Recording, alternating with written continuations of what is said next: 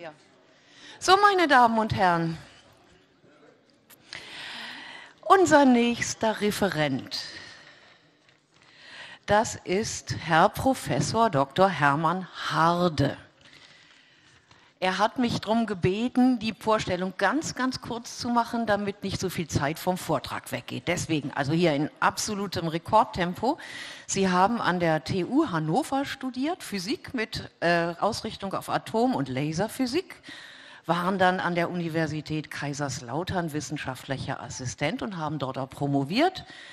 Und Professor für Lasertechnik sind Sie geworden an der Helmut Schmidt Universität Hamburg. Professor für Lasertechnik und Werkstoffkunde. Und eine Professur haben Sie noch dazu bekommen, 2005, Professur für Experimentalphysik und Materialwissenschaften. Ihre Forschungsgebiete sind Erzeugung und Nachweis ultrakurzer Lichtimpulse, Ausbreitung ultrakurzer Lichtimpulse in Glasfasern, Entwicklung von optischen Gassensoren für den medizinischen Einsatz und die Umwelttechnik und auch etliche andere Dinge mit Lasern wie Oberflächenmikrostrukturierung und ähm, auch die Ausbreitung und Wechselwirkungsprozesse elektromagnetischer Strahlung in der Atmosphäre. Das war jetzt wirklich ganz kurz, es gibt noch viel mehr, aber jetzt hören wir gerne zu über das Thema wie viel tragen CO2 und die Sonne zur glo globalen Erwärmung bei?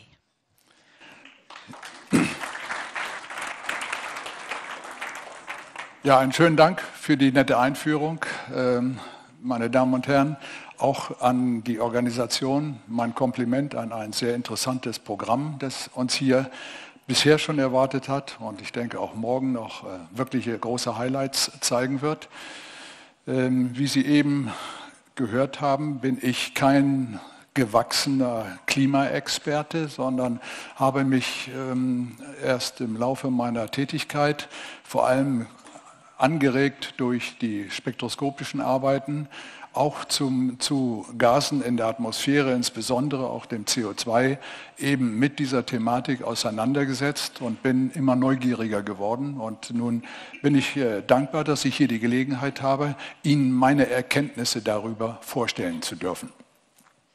Das Thema haben Sie gesehen.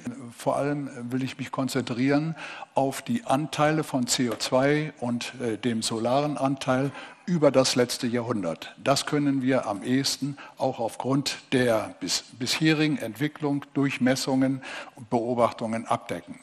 Dieses erfordert also eine genauere Betrachtung auf der einen Seite des Treibhauseffektes und äh, ebenso auch des Solareinflusses.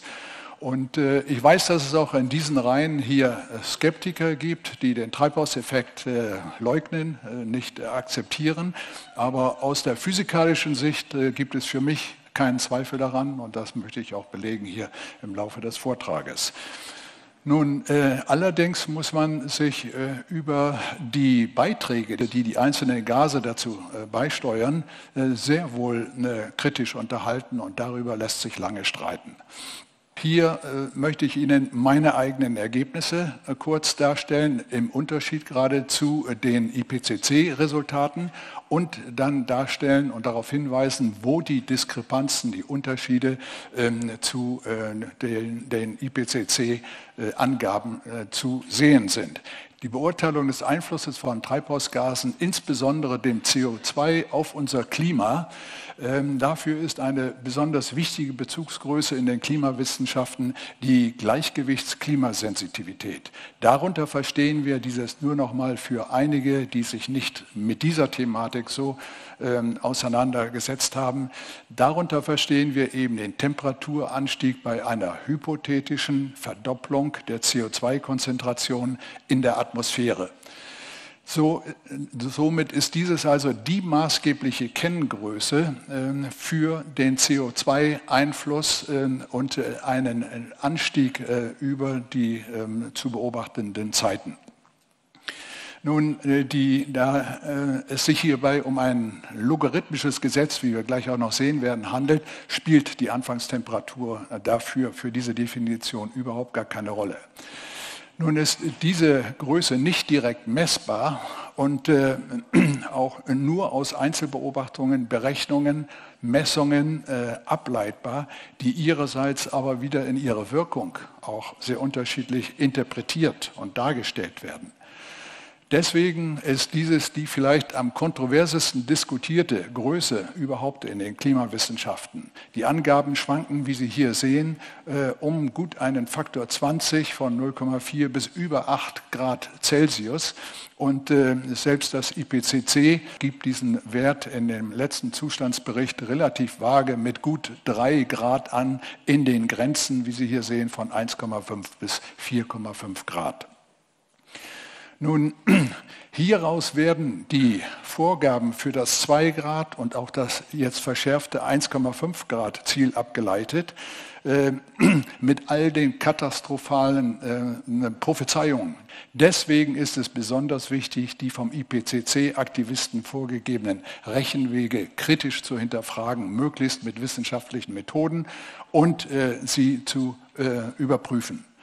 Dieses erfordert umfangreichere Rechnungen, äh, auf die ich hier nur äh, äh, schemenhaft eingehen kann, die dann ihrerseits wieder in ein mehr oder weniger komplexes Klimamodell eingehen und aus diesem Modell dann schließlich erst eigentliche, der eigentliche Wert für die Gleichgewichtsklimasensitivität und auch eventuelle solare Änderungen abgelesen werden können.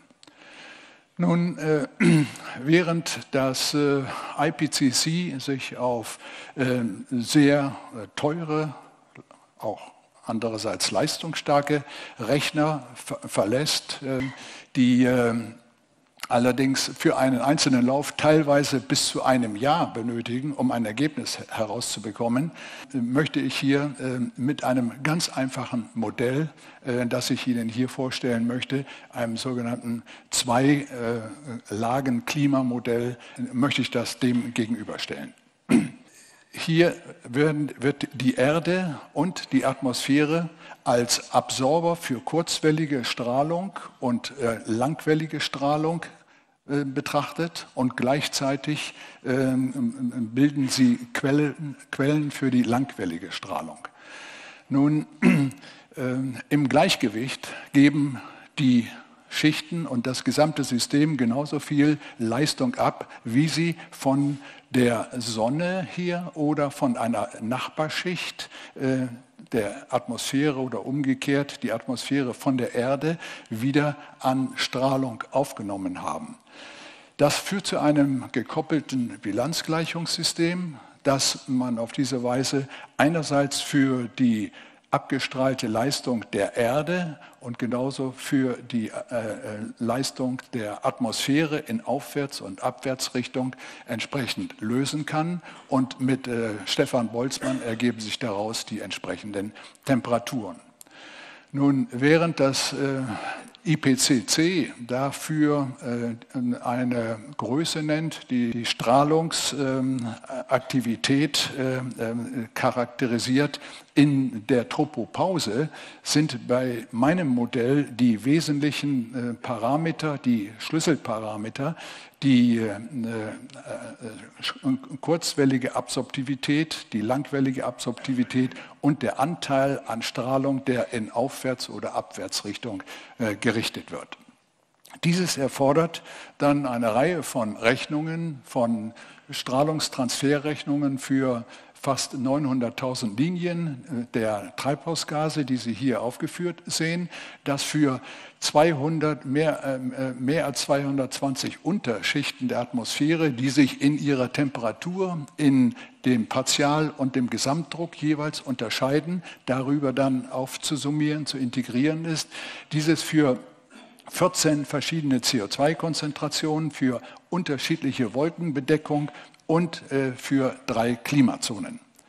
Durch einige Parameter, insbesondere die Rückstreuung an Wolken und Absorption an Wolken, lässt sich dieses Modell in den Strahlungsflüssen und der gesamten Energiebilanz anpassen an das Energie- und Strahlungsbudgetschema von Trembot, Fasolo und äh, Kiel, das weitgehend akzeptiert ist soweit und äh, ebenfalls kann man über diese Parameter den globalen Temperaturanstieg äh, als Funktion der in diesem Falle abnehmenden Bewölkung entsprechend an dieses Modell anpassen. Damit stehen diese zwei, diese Beobachtungen sowohl aus dem gesamten Energieschema wie auch hier über den Wolkeneinfluss ähm, und die Temperatur äh, gewissermaßen als äh, Eichpunkte für das Modell zur Verfügung, äh, um dass dann kleine Störungen durch den CO2-Anteil, aber auch den Solaranteil entsprechend berücksichtigt werden können. Also basiert dieses Modell einerseits auf der Energieerhaltung und enthält dabei alle Strahlungsflüsse, äh, inklusive auch äh, hier äh, der sensiblen und äh, der latenten Wärmeflüsse. Ähm, es äh, ähm, berücksichtigt die kurz- und langwellige Wechselwirkung, äh, der Strahlungswechselwirkung mit den Gasen, aber auch den Einfluss auf die Wolken und mit den Wolken. Und Ich betrachte dabei die Auswirkungen auf den Treibhauseffekt sowie auf die solare, äh, Solar- und Bewölkungsänderungen, wie wir das noch sehen werden. Nun, eine solche Simulation mit diesem Modell sehen Sie hier dargestellt. Die obere Kurve hier äh, für die äh, Erdtemperatur, die untere für die untere Atmosphärentemperatur. Und wir sehen, dass diese Kurven schon relativ schnell mit wachsender CO2-Konzentration in eine sehr deutliche Sättigung übergehen, die verursacht ist, einmal durch das CO2 selber, aber ebenso durch den Wasserdampf, durch die Überlappung mit Wasserdampflinien. Und äh, weiterhin sehen wir hier als grüne Linie, dass wir ab äh, etwa 140 ppm diesen, die, die Erdtemperatur sehr gut durch eine logarithmische Funktion wiedergeben können. Wenn wir äh, die ähm, Equilibrium Climate Sensitivity hier abgekürzt, also die Gleichgewichtsklimasensitivität ähm, hier aus diesem Diagramm ermitteln wollen, dann gehen wir eben von 380 auf 760 äh, ppm an entsprechender Verdopplung und lesen dann hieran ab, wie weit die Temperatur angestiegen sein kann. Dieses als Wert für eine CO2-Verdopplung. Das heißt, in diesem Falle äh, gibt diese Rechnung einen Wert von 1,09 Grad Celsius und dieser Wert stimmt in, innerhalb eines Zehntel äh, Grades mit äh, den Angaben äh, aus der Literatur, auch wie sie vom IPCC für diesen Fall der äh, Erwärmung, der äh, Klimasensitivität ohne Rückkopplungen angesetzt wird. Soweit wäre also bei einer Erwärmung um gut einem, einem Grad, äh, äh, ist da kein Alarm, ist das kein besonderes Problem. Und äh, insofern sind sich auch viele Klimawissenschaftler darüber einig, dass äh, die ansteigende CO2-Konzentration hier mit einem Strahlungsantrieb, den ich hier jetzt einmal äh, dazu eingeführt habe, als Delta FC CO2 nur eine moderate Erwärmung um einen Anteil von Delta T0 geben sollte. In diesem Diagramm stellt hier das Lambda S die Planck-Sensitivität dar oder auch bekannt als äh, Klimasensitivitätsparameter. Größere Bedenken äh, kommen auf, äh, weil anzunehmen ist, dass schon kleine Störungen hier eine Rückkopplung hier in Einheiten von Watt pro Quadratmeter und äh, Grad Celsius eine Verstärkung verursachen können, die eben die ursprüngliche Störung erheblich heraufsetzen können. Wie Sie das hier äh, über solch ein Blockschaltbild dargestellt finden und äh, auf der rechten Seite durch eine relativ einfache Gleichung formuliert. Wir haben das ja über äh, Henry Emerson heute Morgen schon gehört. Da haben wir diese, diesen Ausdruck hier für die Rückkopplung als Verstärkungsfaktor schon kennengelernt. Hier als Verstärkung einer Gesamtstörung, genauso für die Verstärkung der ähm, Klimasensitivität jetzt nach Berücksichtigung, mit Berücksichtigung der Rückkopplungseffekte. Dabei ist dieser eingerahmte Term eben die Rückkopplung, diese 1,09 Grad Celsius, von denen ich eben gesprochen habe, ohne Rückkopplung. Ja, äh, als bekannte ähm, Rückkopplungseffekte kennen wir die Wasserdampfrückkopplung, den Temperaturverlauf über der Höhe äh, äh, in der Atmosphäre, besser geläufiger bekannt als Lapse Rate Feedback, dann die Oberflächen und die thermische Wolkenrückkopplung. Zusätzlich und äh, vom IPCC nicht erwähnt, nicht im letzten Sachstandsbericht irgendwo aufgeführt, betrachte ich die äh, Konvektions-, Evaporations- und die solare Wolkenrückkopplung. Nicht, weil diese Terme keine Rolle spielen würden von ihrer Bedeutung, von ihrer Größe, sondern, sondern weil sie nicht genau in den äh, IPCC-Kontext hineinpassen. Nun sehen wir uns mal die Wasserdampfrückkopplung etwas genauer an. Und nach Clausius Clapeyron wissen wir, dass die Wasserdampfkonzentration exponentiell mit der Temperatur ansteigt. Das sehen wir auch aus den verschiedenen Klimazonen, wie unterschiedlich dort die Luftfeuchtigkeit am, äh, am Pol oder am Äquator aussieht. Ja? Aber wir haben auch schon bei niedrigeren äh, äh, Luftfeuchtigkeiten bereits eine Sättigung auf den Wasserdampflinien und dieses führt genauso, wie ich das eben dargestellt habe, für das CO2 bereits sehr bald zu einer entsprechenden Sättigung. Und äh, eine logarithmische Kurve und eine exponentielle Kurve gibt zusammen, wie wir das hier äh, sehen können, einen praktisch geraden Verlauf, hier dargestellt, berechnet für höhere Breitengrade, mittlere Breitengrade und äh, die, die, Tropen. Und wir sehen eben äh, hier die äh, Absorptivität als ein wesentliches Maß dafür, wie die äh, sowohl für die langwellige Strahlung hier oben und hier für die kurzwellige Strahlung linear mit äh, der Oberflächentemperatur ansteigen werden. Nun, das hat insofern eine Bedeutung, dass also mit ansteigender ähm, Temperatur und damit auch ansteigender Absorption die langwellige Strahlung stärker zurückgehalten wird und nicht so äh, gut abgestrahlt wird von der Atmosphäre ins Weltall, also dieses sich bemerkbar macht als, einen, ähm, ähm, positive, als eine positive Rückkopplung.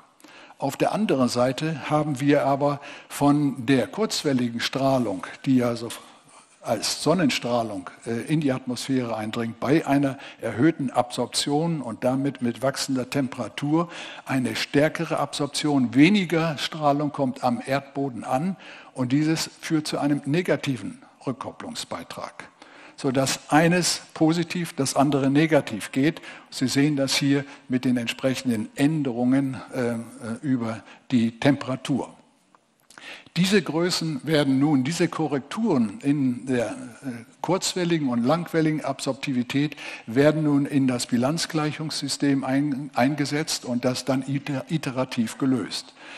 Dabei führt also die erhöhte Temperatur durch den höheren CO2-Anteil, der ja schließlich immer der Treiber auch für die Temperatur ist, zunächst zu diesen entsprechenden höheren Absorptivitäten. Diese höheren Absorptivitäten ihrerseits geben wieder eine Temperaturkorrektur, die Temperatur wieder zu, äh, höhere Absorptivitäten und so weiter und so fort. Und das wird so lange gerechnet, durchgerechnet, bis sich Selbstkonsistenz in den Temperaturdaten einstellt.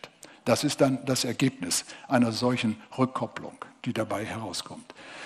Nun, und äh, hier sehen Sie das Ergebnis. Ohne Wolken ist diese Rückkopplung, ist die Verstärkung, auf die ich mich hier jetzt mal konzentrieren will, äh, bei knapp 1,6 oder ein, eine, ein äh, Anteil an Anwachsen von 57 äh, Prozent gegenüber dem Nicht-Feedback-Term. Bei Wolken reduziert sich das ganz erheblich, wie Sie hier sehen, auf nur 1,14 oder plus 14 Prozent im Unterschied zu den Angaben, wie Sie sie im Sachstandsbericht lesen können, mit einer Verstärkung, Rückkopplung von einem Faktor 2 oder plus 100 Prozent. Also ein erheblicher Unterschied. Nun fragen Sie, was sind die Gründe dafür? Und äh, es gibt aus meiner Sicht dafür drei Erklärungen. Die eigenen Rechnungen berücksichtigen auch die kurzwellige Absorptivität, auf die ich eben hingewiesen hatte, die zu einer negativen Rückkopplung mit beiträgt. Nicht so stark wie die positive, aber das ein wenig kompensiert. Dieses ist in der Literatur nirgendwo zu finden, das ist nicht in den IPCC-Berichten erwähnt oder aufgeführt. Äh, darüber hinaus werden, das ist ein spezieller Fall, will ich nur kurz ansprechen, die Absorptionsquerschnitte, die für die Berechnung der Spektren eine Rolle spielen, äh, die werden konstant angesetzt in den IPCC-Rechnungen, aber wenn sich die Oberflächentemperatur selber weiter verändert, sind die entsprechend wieder zu korrigieren, anzupassen. Auch das gibt eine äh, Korrektur nach unten. Dann haben wir als Hauptanteile vor allem äh, in der Berechnung der langwelligen Absorptivität mit der Temperatur und Luftfeuchtigkeit, bei der die Rechnungen, die wir in den IPCC-Berichten finden, nur, und das explizit erwähnt wird, von wolkenfreien Berechnungen ausgehen. Das macht einen erheblichen Unterschied zu einer Bewölkung. Diese Rechnungen, die ich hier Ihnen vorstelle, habe ich gesagt, sind einmal als Vergleich ohne Bewölkung, mit Bewölkung und sogar mit 100 Prozent Bewölkung berechnet, sodass man die Unterschiede damit besser äh, erkennen kann. Nun, und äh, äh, zweitens wird hier mit einer niedrigeren Wasserdampfkonzentration für mittlere Breiten, wie sie der amerikanischen äh, Normatmosphäre entsprechen, gerechnet, im Allgemeinen gerechnet. Aber äh, global haben wir eine äh, äh, Luftfeuchtigkeit, eine erhöhte Konzentration, die fast ein Faktor 2 größer ist. Diese sind die wesentlichen Korrekturen, die dafür verantwortlich sind, dass wir zu einer deutlich niedrigeren Wasserdampfrückkopplung auf diese Weise kommen. Nun, äh, die Lapse-Rate und äh, Oberflächen-Albedo-Rückkopplung, die eine etwa, äh, etwas negativ, die andere positiv, sind unverdächtig aus der Literatur zu übernehmen. Darauf will ich jetzt nicht weiter eingehen. Ähm, und äh, dann kommen wir aber, wie ähm, meine äh, Berechnungen gezeigt haben, äh, doch zu dem Fall, dass wir, wie das hier gerade für den wolkenfreien Fall dargestellt ist, sehen, dass die atmosphärische Temperatur weniger empfindlich auf eine CO2, einen CO2-Anstieg reagiert als die Erdtemperatur. Daraus folgt aber, dass in der Konvektionszone dementsprechend äh, mehr äh, Wärme von der Oberfläche abgeführt wird. So, das heißt, der sensible Wärmefluss wächst mit der CO2-Konzentration. Nun, ein erhöhter Fluss vom Boden zur Atmosphäre führt aber zu einer Kühlung und dementsprechend ist das eine negative Rückkopplung. Nun, ohne Wolken ähm, gibt es keinen so sensationellen äh, großen Anteil, aber minus 6 und der geht äh, sogar bei äh, mittlerer Bewölkung noch weiter zurück auf nur minus 2 Prozent. Aber grundsätzlich habe ich Ihnen erst einmal diesen Effekt auch darstellen wollen, weil er insbesondere bei dem nächsten Fall, nämlich der der Evaporationsrückkopplung eine ganz maßgebliche Rolle widerspielt.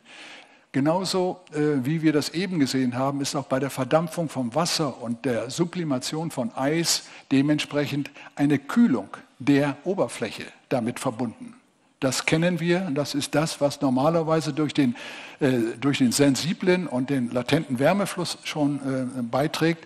Dieses äh, führt zu einer Kühlung und äh, eine erhöhte Bodentemperatur die wir jetzt ausrechnen durch den CO2-Anteil, muss dementsprechend natürlich auch zu einem erhöhten äh, Evaporationsanteil äh, beitragen. Das ist also eine negative Rückkopplung. Und der latente Wärmefluss, der kann in guter Näherung erst einmal so proportional als, als Differenz von der ähm, Erdoberflächentemperatur zu Gefrierpunktstemperatur gesetzt werden.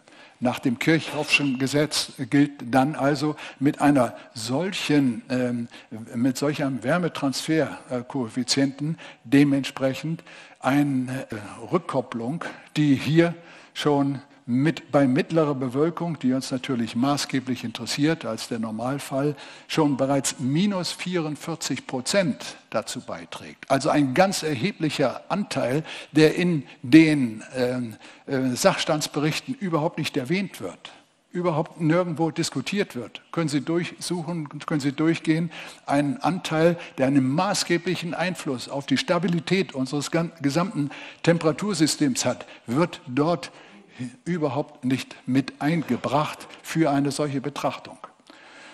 Nun gut, äh, äh, kommen wir schließlich noch zu der Wolkenrückkopplung. Und wie wir aus Satellitendaten wissen, führt also eine reduzierte Bewölkung dementsprechend zu einer äh, ansteigenden Temperatur. Und wir haben aus den Daten von dem ISCCP-Daten sogar den Anteil der Erwärmung dabei ablesen können. Nun, aber das gibt eben keine Antwort, warum es zu solchen äh, Bewölkungsänderungen gekommen ist. Nur das Faktum erstmal aus der Beobachtung abgeleitet. Nun, äh, einige Beobachtungen äh, zeigen in der Tat, dass mit einer steigenden Temperatur und Luftfeuchte die Bewölkung zunimmt.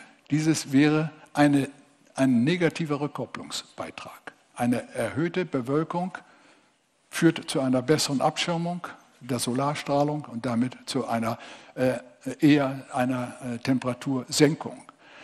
Äh, insbesondere in äh, tropischen Gebieten beobachtet man das. Und wir sprechen dann von einer thermisch induzierten Wolkenrückkopplung. Nun im Unterschied haben wir aber, äh, hier muss ich bedienen, eine äh, andere Beobachtung, die zeigen genau das Gegenteil. Aus, äh, aus, den Wolken ergibt sich damit auch nach der äh, äh Feststellung des IPCCs die bei weitem größte Unsicherheit für die Einschätzung dieser Klimasensitivität überhaupt. Nun, und sie wird angegeben vom IPCC, äh, verursacht durch die CO2-Erwärmung äh, als positive Rückkopplung mit äh, dieser Größe an Rückkopplungsfaktor, nennen wir das einmal. Nun, wenn wir diese Werte alle zusammentragen, dann sehen wir ähm, äh, auf der einen Seite die äh, Coupled Model Intercomparison Project Phase 5, dafür steht diese Abkürzung, in dem 30 ähm, Atmosphären, Ozean, Zirkulationsmodelle zusammengefasst sind und daraus ein, äh, jeweilige Mittelwerte. Die einzelnen Ergebnisse streuen auch sehr stark, aber ein, ein Mittelwerte daraus zusammengestellt werden. Dabei wird ausgegangen von einer Klimasensitivität ohne Rückkopplungen von 1,06 Grad. Und mit äh, diesen entsprechenden Rückkopplungen, die ich hier eben alle der Reihenfolge nach angesprochen habe, Konvektions- und Evaporation gibt es dort nicht in den Modellen, auf eine Klimasensitivität von 3,2 Grad.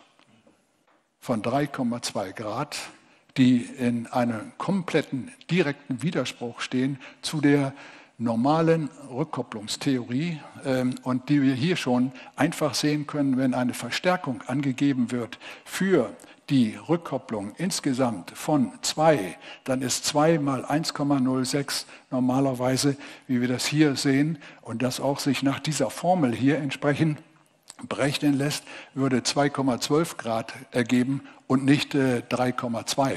Mehr als ein Grad Unterschied schon einmal als Diskrepanz. Die wesentliche Diskrepanz ist hier zu sehen zu meinen ähm, Rechnungen, bei denen wir äh, hier Einmal natürlich durch die Wasserdampf, die kleinere Wasserdampfrückkopplung die, und vor allem die Evaporationsrückkopplung eine deutlich niedrigere Klimasensitivität von nur 0,7 Grad hierbei erhalten, die hier bereits einen kleineren Anteil an Wolken, nämlich diesen Anteil an Wolkenverstärkung, äh, äh, Rückkopplung äh, mitenthält. Dieses führt aber zu weiteren Inkonsistenzen bei den CIMIP-Modellen. Erstens sehen wir mit den 3,2 Grad CO2-Anstieg von 90 ppm über das letzte Jahrhundert, würden wir damit eine, über diese 90 ppm eine Erwärmung feststellen, ausreichend von knapp einem Grad. Im Unterschied zu dem, was wir in dem dritten Sachstandsbericht vom äh, IPCC nachlesen konnten, eine Erwärmung über das letzte Jahrhundert von 0,6 Grad. Auch wenn über einige merkwürdige Verfahren, nicht nachvollziehbare Verfahren. Diese Temperatur, äh, Herr Limburg kann sicherlich äh, sehr viel präziser was darüber sagen, dieser Wert noch äh, mehrfach nachkorrigiert worden ist auf 0,8 äh, Grad, ist da noch immer eine Diskrepanz. Nun, zweitens haben wir äh, festzustellen, dass eine beobachtete Bewölkungsänderung mit angenommener Rückkopplung nicht äh, annähernd erklärbar ist damit, mit diesen äh, 0,3. Dafür würde eine siebenfach höhere Wolkenrückkopplung erforderlich sein und das würde zu einer utopischen Klimasensitivität nach der üblichen Formel von 15 Grad äh, führen und eine Erwärmung äh, mit den 90 ppm noch von 2,3 Grad geben. Auch das ist utopisch, hat offensichtlich das IPCC selber erkennen müssen und die, deswegen solche Werte auch nicht äh, die, direkt aufgeführt.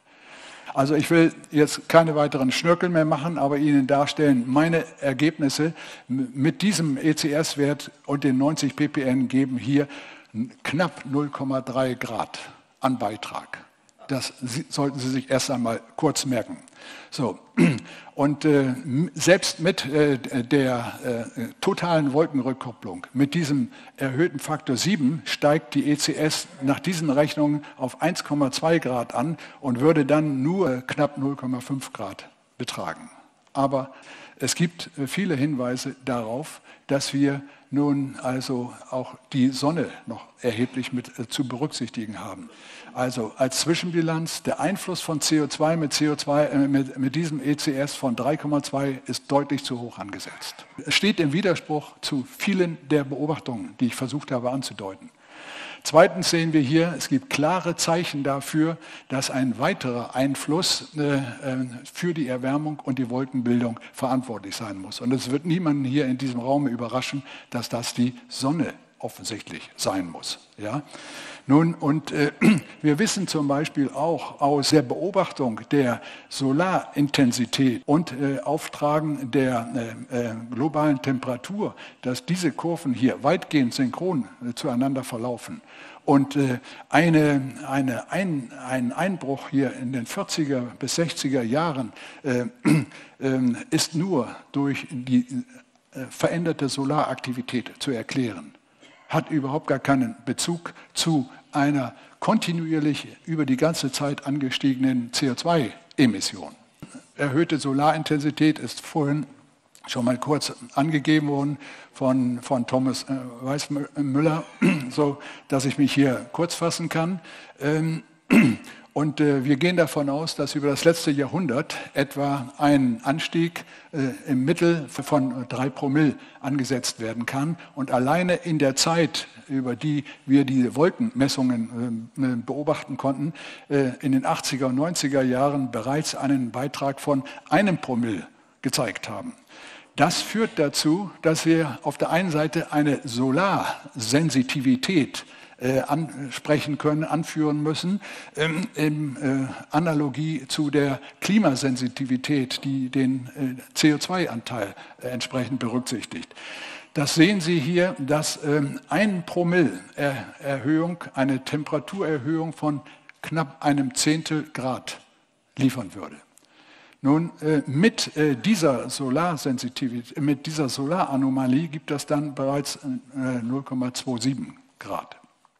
Aber diese Solarintensität und die, der Einfluss, der sich in Form einer Erwärmung am Boden bemerkbar macht, ist natürlich den gleichen Rückkopplungsprozessen ausgesetzt, wie das CO2 das verursacht hat. Also muss dieser Wert auch entsprechend mit diesen Werten noch verstärkt werden.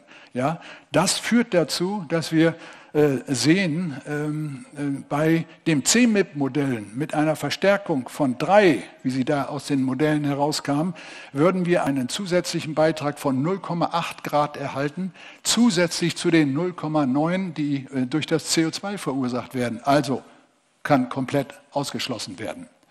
Für meine Betrachtungen ergibt das 0,18 Grad. Und nun komme ich auch äh, gleich zum Schluss. Bisher habe ich aber nur den temperaturbedingten Anteil betrachtet. Aber ähm, zusätzlich haben wir natürlich auch noch zu berücksichtigen. Und da äh, darf ich nur im Vorwege daran erinnern, was wir äh, morgen dann im Vortrag von Hendrik Svensmark und Nir Shaviv hören werden, dass also die äh, kosmische Strahlung wiederum über direkte Sonneneinstrahlung einen, eine einen Rückwirkung auf die Wolkenbildung hat. Das will ich, dem will ich nicht vorgreifen, aber das geht in meinen Rechnungen mit ein, wird einbezogen in das Modell. Bei mir wird nur angenommen, dass der Anstieg in der Solarintensität von einem Promille über den Zeitraum, den man, über den wir sehen konnten, dass sich die Bewölkung um fast sieben Prozent verändert hat dass wir dieses einbeziehen in die, in die Rechnung und äh, das führt dann dazu, dass die solarinduzierte Wolkenrückkopplung, wie ich das Ganze hier benannt habe, jetzt um diesen Anteil durch die Solaraktivität nochmal weiter verstärkt wird, sogar um einen Faktor bis zu 2,7, also von 0,06 auf 0,16 Grad pro Promille äh, Intensitätsänderung. Und daraus ergibt sich so zum Schluss eine Gesamtbilanz, Temperaturbilanz dargestellt durch ein solches Diagramm, bei dem Sie sehen, dass hier die Solarrückkopplung hier vorne eine Rolle spielt und dieser Anteil dann zusammen mit dem CO2-Anteil dann nochmal einer thermischen Rückkopplung unterliegt. Und in dieser Form äh, sowohl die Solaranteile und die äh, äh CO2-Anteile entsprechend bewertet werden können. Und dann erhalten wir als Endergebnis, dass die mit einer Solaranomalie von 3 Promille die Sonne knapp 0,5 Grad als Erwärmung über das letzte Jahrhundert beigesteuert hat und äh, die, das CO2 mit den 90 ppm Anstieg von 1900 bis 2000 nochmal 0,26 Grad dazu beigetragen hat. Diese Summe stimmt praktisch identisch, exakt überein mit den Daten, wie sie vom Goddard-Institut herausgegeben worden sind, für die Erwärmung über das letzte Jahrhundert von 0,74 Grad. Und sie stimmt überein mit der Wolkenrückkopplung und den Satellitendaten. So, abschließend erhalten wir also, dass äh, die Sonne zumindest, sage ich mal vorsichtig, mehr als 60 Prozent an Erwärmung über das letzte Jahrhundert beigetragen hat und äh, das äh, CO2 weniger als 40 Prozent. Ich danke Ihnen für Ihre Aufmerksamkeit.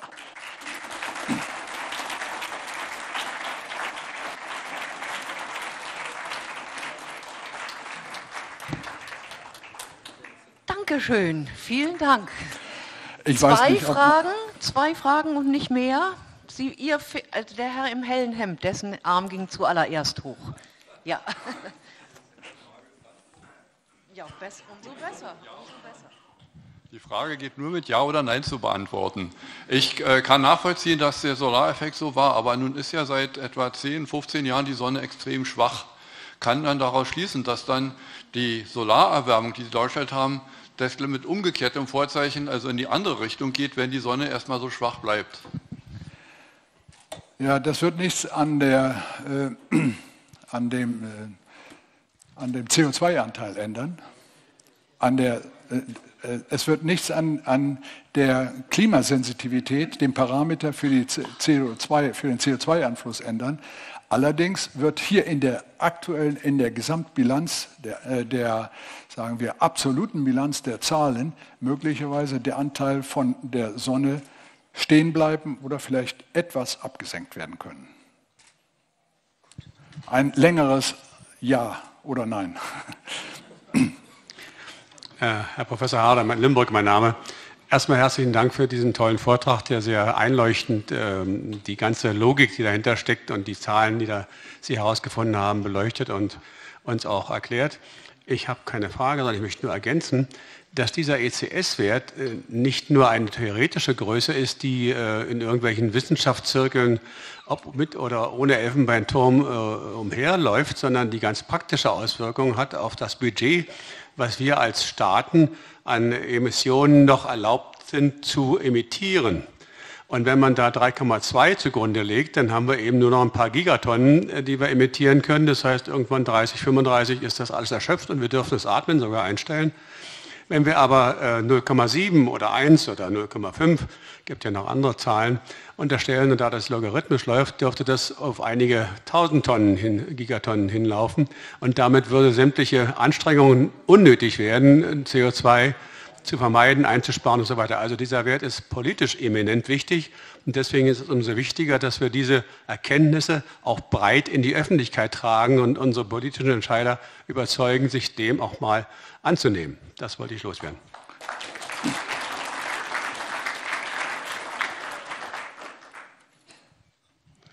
Als Physiker versuche ich wegzukommen von den komplizierten Rechnungen, weil ich an die so gut wie nicht glaube. Viel zu viele Parameter, deren aufeinanderwirken und parallelwirken unklar ist. Müssen Sie alles mit Hypothesen einsetzen. Viel einfacher wäre es. Und da folge ich einem Satz irgendeines berühmten Physikers, der sagt, ein noch so berühmter Mann kann ein noch so tolles Modell aufstellen mit Ergebnissen. Solange die aber nicht experimentell verifiziert sind, hat es als falsch zu gelten.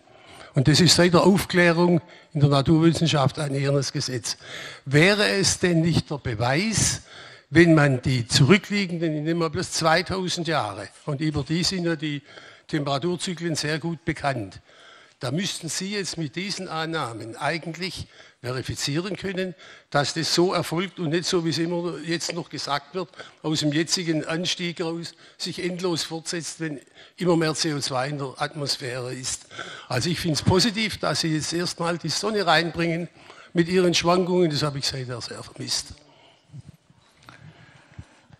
Ja, was äh, wenn ich mich richtig erinnere, haben Sie gesagt, wenn solange eine Theorie nicht äh, oder experimentell bestätigt ist, ist sie falsch, ist vielleicht nicht ganz richtig, aber gilt sie nicht als bewiesen. Ja? So, das, das ist sicherlich absolut richtig.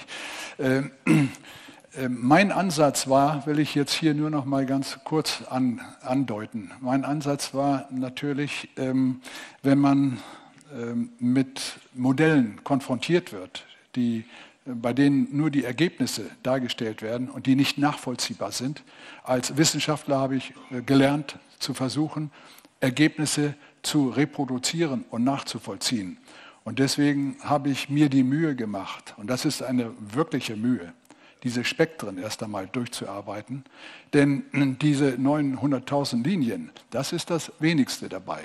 Die ähm, äh, habe ich in einer Datenbank, die in, von dem Programm abgerufen werden und einbezogen werden und dann berechnet werden. Aber dieses sind wahnsinnig viele Läufe. Jede einzelne Schicht, von der ich gesprochen habe, diese 200 Schichten müssen, äh, müssen gerechnet werden. Die, das für die verschiedenen Drücke oder die Konzentration und so weiter. Das sind Einzel, tausend Einzelrechnungen gewesen, die da zusammengetragen werden. Aber irgendwo glaubt man ja an eine vernünftige Physik dazu. Und äh, die habe ich versucht in einem vergleichsweise übersichtlichen Modell, aber das von den Grundprinzipien, nämlich der Energieerhaltung ausgeht, an der ist kein Zweifel zu sehen.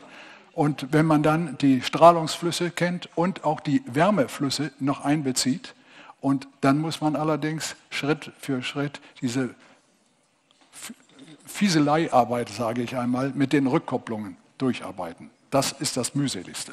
Ja, ja. Entschuldigung. Ja, Michael Schnell ist mein Name. Also, Herr Professor ich habe mich sehr gefreut über den Vortrag, denn das was Sie theoretisch abgeleitet haben, werde ich Ihnen morgen zeigen im Experiment. All diese Daten, die Sie haben, habe auch ich gesehen.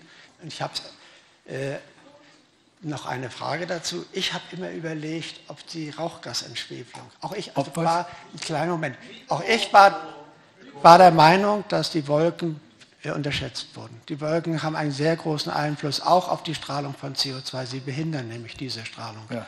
Und ich bin auch wie Sie zum Schluss gekommen, die Wolken sind unterschätzt worden. Und meine Überlegung war, und das ist jetzt die Frage, ob auch die Rauchgasentschwefelung, die es ja in den 70er Jahren massiv gegeben hat, zu einer Verringerung der Aerosole geführt hat und damit zur Verringerung der Wolkenbildung. Ja oder nein? Kann ich nicht beantworten. Das kann ich einfach nicht beantworten, was dahinter steht. Ich habe nur in meinem Modell äh, das, was beobachtet werden konnte, in den 80er, 90er Jahren als Wolkenänderung und der Temperatur in mein Modell einbinden können, als, als Beobachtungshintergrund, nichts anderes. Keine Erklärung. Vielen herzlichen Dank. Und jetzt wissen alle schon, dass Sie ein paar Kekse zum Advent bekommen. Danke, danke.